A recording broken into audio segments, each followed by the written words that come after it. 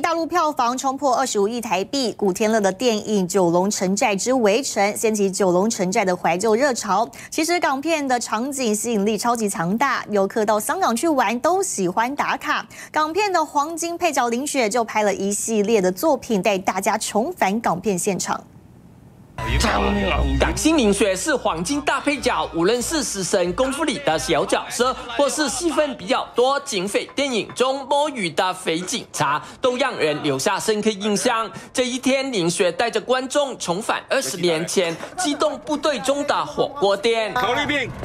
五十八奖赏啊！唔好意思啊，Sir，五十八奖赏啊！来，这家以沙爹牛肉闻名的火锅店，不少游客都是跟着港片而来，吃的不止味道，还有港片的情怀。林雪最近拍了不少短片，带大家重返电影场景，也回味她拍戏的甘苦。就在这里踩香蕉皮，摔了四十八次，还 OK。港片是不少游客的回忆。最近陆港两地票房大卖二十五亿台币，古天乐、洪金宝等演的《九龙城寨之围城》重建了已经拆迁，还原八十年代龙蛇混杂的九龙城寨。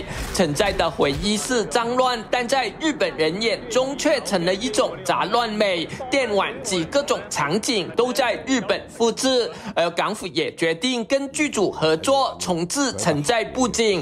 打造成游客打卡点，吸引力可能更胜遗址改建成的公园。以上是驻香港记者李景华的报道。